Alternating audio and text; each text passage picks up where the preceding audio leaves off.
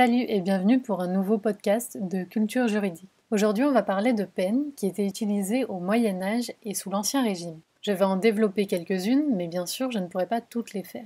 Donc, il y aura sûrement un deuxième épisode. On commence tout de suite par les peines de mort. Au niveau des peines de mort, il y a bien sûr la célèbre décapitation, donc qui était réservée au crime de lèse-majesté. Alors, pour ceux qui ne le savent pas, le crime de lèse-majesté, c'est un crime qui touche directement à la royauté. En fait, c'est un crime qui est censé avoir euh, frappé, euh, comme si ça avait frappé le roi directement au travers de ce crime. Pour la décapitation, on l'utilise aussi pour la trahison. Elle est souvent faite à l'épée ou à la hache. Mais bien souvent, le bourreau est obligé de s'y reprendre à plusieurs fois avant que la tête soit séparée du corps. Ensuite, il y a l'enfouissement. Le fait d'enfouir quelqu'un vivant, c'est une peine qui est plutôt réservée pour les femmes. Elle est fréquemment utilisée au XIVe siècle, puis elle disparaît petit à petit avec l'extension de la pendaison.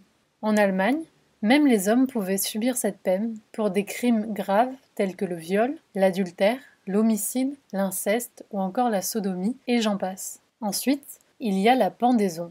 Alors ça sanctionne de nombreux crimes, pour prendre un simple exemple, le vol. D'ailleurs, il y a un adage qui dit Celui qui se console le vol se console le gibet, et trop pendre fait pendre.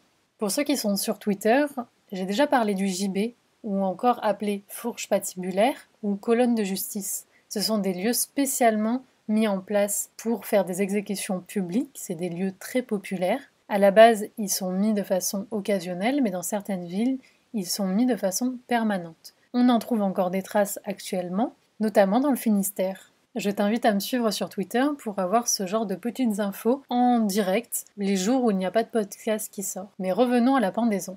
Donc c'est une pratique qui est utilisée surtout au XIVe siècle. Et d'ailleurs, c'est à partir de là qu'on industrialise un peu cette pratique, puisqu'avant on utilisait de simples arbres. Et à la suite de cette époque-là, on va mettre en place donc des lieux prévus pour, des gibets, etc. Auparavant, c'était une peine qui était réservée seulement pour les hommes, pour un motif de décence. Alors pourquoi la décence? C'est surtout parce que cette peine, elle consiste à mettre le corps nu de quelqu'un, d'un coupable, qui va rester là pendu assez longtemps, exposé à la vue de tous. Et donc elle était considérée comme particulièrement ignominieuse. La pendaison pour les femmes, elle apparaît d'abord dans le sud de la France, puis elle va se généraliser au nord.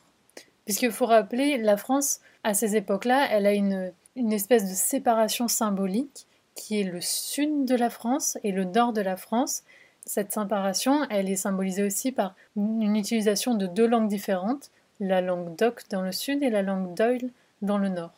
Enfin voilà, du coup il va y avoir pas mal de petites différences et souvent il va y avoir cette grande séparation qui va petit à petit s'estomper. Cette peine de pendaison, elle peut avoir des petites spécificités selon qui elle frappe. Par exemple, quand c'est une personne juive, il y a une façon assez cruelle de la mettre en place qui est qu'on pend les juifs, donc ces personnes, par les pieds. Et bien souvent d'ailleurs, il y a aussi, on va le pendre aux côtés de chiens ou de loups. Et le loup à cette époque-là, c'est vraiment une bête qui est redoutée, qui n'est pas aimée. D'ailleurs, si ça vous intéresse, il y a euh, notamment les, travaux de Michel Pastoureau, l'historien, qui a écrit sur euh, le loup, la place du loup dans, euh, dans la culture à ces époques-là, mais aussi de façon un peu plus contemporaine. On en revient toujours à la pendaison. Aux Pays-Bas, par contre, la pratique de pendre par les pieds, elle n'est pas seulement réservée aux juifs.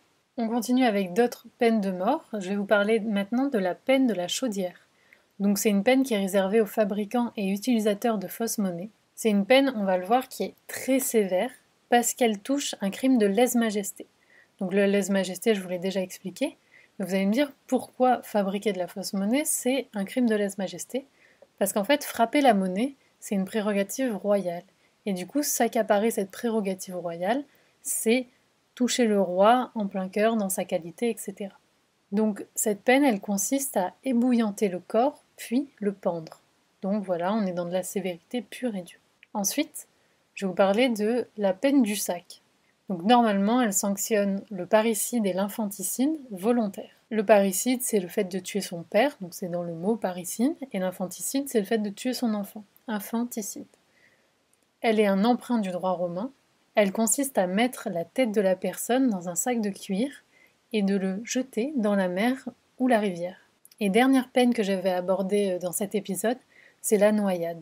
Alors la noyade, elle est très utilisée en France, mais elle est aussi connue en Flandre et en pays allemand. Je vous fais pas de dessin, c'est le fait de noyer quelqu'un. Donc voilà, je vous ai fait rapidement quelques peines de mort qui existaient à ces époques-là. Mais pour le moment, on s'arrête là. Je ferai un deuxième épisode sur les peines corporelles, les peines euh, afflictives ou, euh, ou encore les peines patrimoniales si ça vous intéresse. En attendant, je vous dis à très bientôt. Abonne-toi si le contenu de cette chaîne t'intéresse et si tu veux... Euh, abonne-toi si le contenu de cette chaîne t'intéresse. Si tu veux participer un petit peu à l'élaboration, ben, je te propose de mettre un commentaire en dessous pour me dire déjà ton avis sur cet épisode, sur qu'est-ce que tu penses de ces peines et quelle est pour toi la peine qui était la plus horrible. Ensuite, tu peux me donner tes idées pour les futurs podcasts.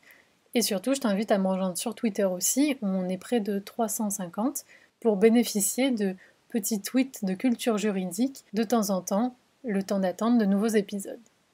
Je te dis à très bientôt et merci pour ton écoute.